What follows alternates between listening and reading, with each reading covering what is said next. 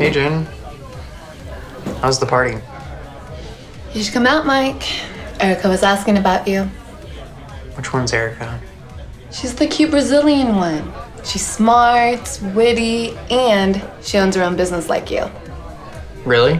Mhm. What's that? Um, like a like a cute little lingerie boutique store in Soma.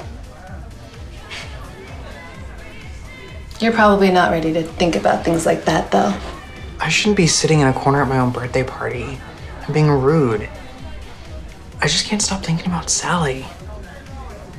Look, it's been a month now. I mean, the best thing that you can do is just try to move on. You're a great guy, and we all love your parties. Yeah, I just. I can't get the image of her out of my head. I mean, seven years is not a trivial time.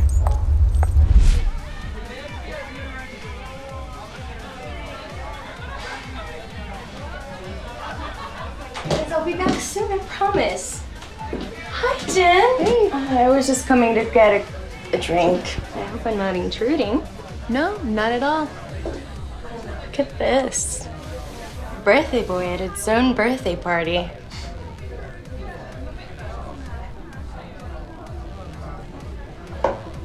Find me at the end of the party. I want to give you a birthday present.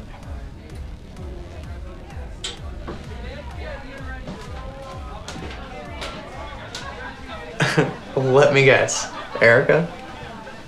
Yep.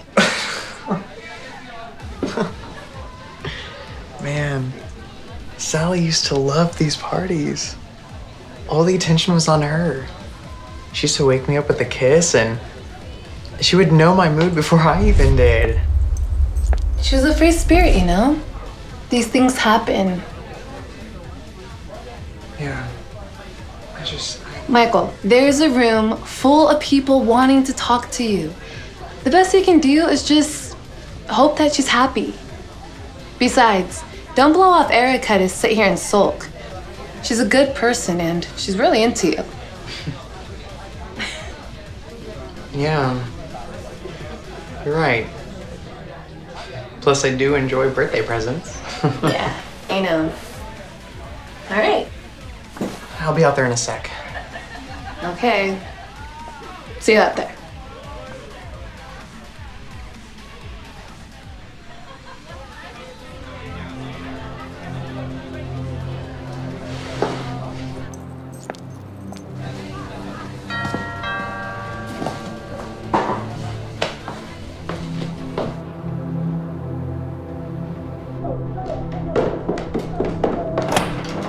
Is this your dog? Oh God, Sally!